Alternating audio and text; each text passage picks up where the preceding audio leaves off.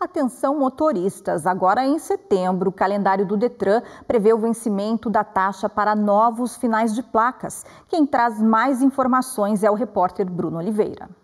Começou no mês de setembro o prazo para o pagamento do certificado de licenciamento de veículos para proprietários que têm carros com placas final 3, 4 e 5 no estado do Paraná. Para falar mais sobre isso, eu converso com Valmir Mores, que ele que é chefe das unidades descentralizadas do Detran.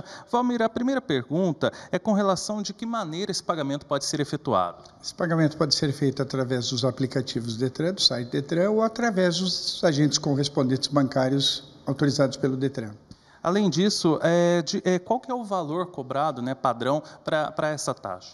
O valor de licenciamento é 90 e 94. Esse é o valor da taxa de licenciamento. Só uma ressalva agora a fazer, que nesse momento todos os pagamentos em débito obrigatório deverão ser quitados.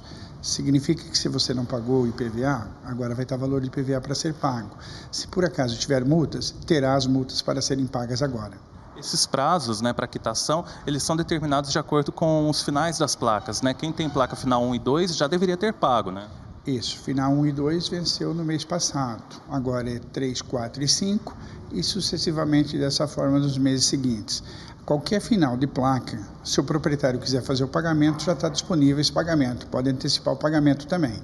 E esse documento é um documento obrigatório. Esse é um documento obrigatório, deve ser quitado, pago os débitos, porque senão ele estará cometendo o condutor, o proprietário do veículo, uma multa gravíssima. São sete pontos na carteira do proprietário do veículo e a apreensão uh, do veículo até que a regularização seja feita desses débitos. O condutor pode ser punido e por isso ele tem que estar atento aí se ele está com tudo quitado, tudo certinho.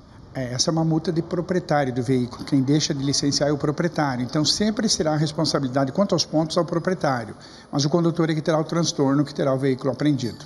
Muito obrigado pelas informações. Para quem quiser mais detalhes, é só acessar o site do Detran, detran.pr.gov.br. De Curitiba, Bruno de Oliveira.